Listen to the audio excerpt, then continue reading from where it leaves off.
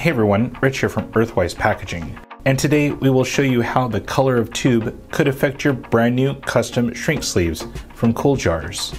So you've just worked with our design team and created the perfect custom shrink sleeves for your products. And now it's time to order your tubes or bottles. The color of tube could drastically affect your custom shrink sleeves and how they turn out.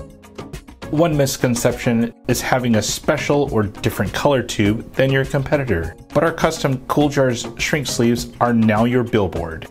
Our pro tip is recommending the use of our regular white tubes or bottles for your packaging.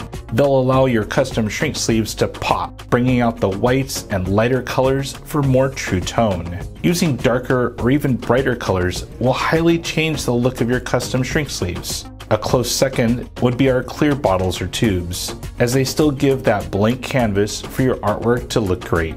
Here's a look at a custom designed shrink sleeve across all of our basic colors, and how the appearance changes. First, the white and clear, which are great choices.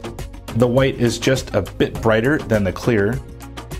Our greens, blues, and purples really alter the tone of the shrink sleeves. Smoke and black are probably the worst options as they really mute the appearance of the sleeves. Comparing the black tube to the white tube really shows the difference. Well, there you have it, a quick pro tip from the leaders in custom shrink sleeve branding. If you like this video, hit the like button. If you haven't already, subscribe for more videos like this one. Finally, my name is Rich. Thanks for watching.